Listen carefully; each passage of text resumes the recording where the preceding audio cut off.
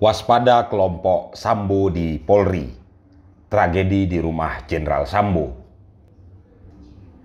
Ketua Indonesia Police Watch IPW Sugeng Teguh Santoso meminta Kapolri Jenderal Listio Sigit Prabowo mengingatkan kelompok-kelompok pendukung mantan Kadif Propam Irjen Pol Verdi Sambo yang diduga memberikan perlawanan dalam penuntasan kasus kematian Brigadir J.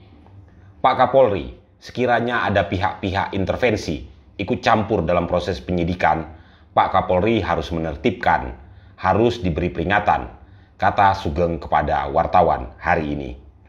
Sugeng menyatakan bahwa Verdi Sambo memang cukup memiliki pengaruh di Korps Bayangkara.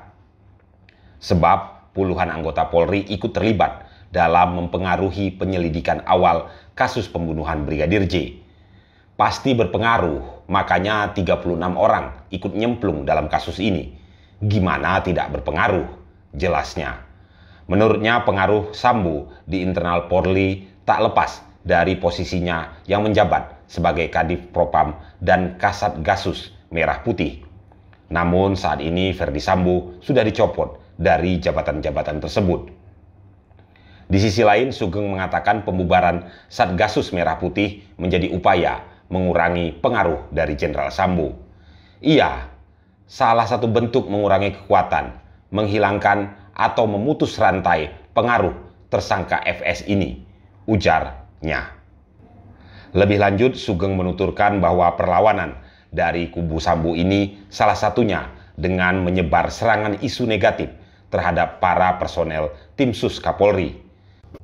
Karena itu, kata Sugeng, Kapolri tak perlu ragu untuk memberikan peringatan kepada kelompok yang mendukung Jenderal Sambo tersebut.